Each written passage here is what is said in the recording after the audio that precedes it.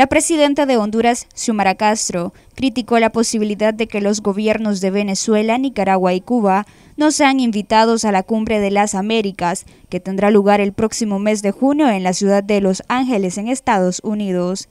Ante la posibilidad que estos tres países queden fuera del evento, tal y como viene barajando hasta la fecha la administración de Biden, la presidenta hondureña reaccionó cuestionando dicha posibilidad.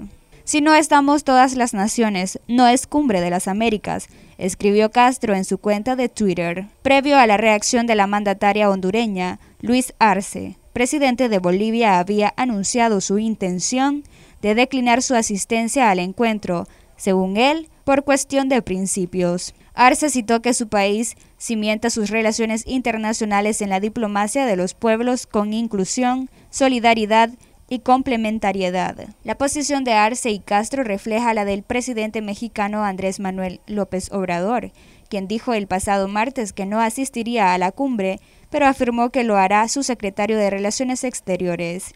De acuerdo con Obrador, su postura busca evitar la continuidad de políticas de exclusión. Este pasado miércoles Obrador afirmó que habló con su colega de Bolivia en un trabajo de convencimiento y reiteró que la postura de ambos es para que se invite a todos, porque la región necesita unirse. Anteriormente, el subsecretario de Estado de Estados Unidos dijo que era poco probable que Cuba, Nicaragua y el gobierno del presidente venezolano Nicolás Maduro fueran invitados a la cumbre. Señaló que la reunión se centraría en los gobiernos democráticos en el hemisferio occidental. El pasado martes, la secretaria de prensa de la Casa Blanca, al ser consultada sobre el tema, aseguró que no se han tomado las decisiones finales. La cumbre que se realiza una vez cada tres años desde 1994 volverá a celebrarse en Estados Unidos, 27 años después del primer encuentro inaugural realizado en la ciudad de Miami. Para Noticias 12, Luisa Centeno.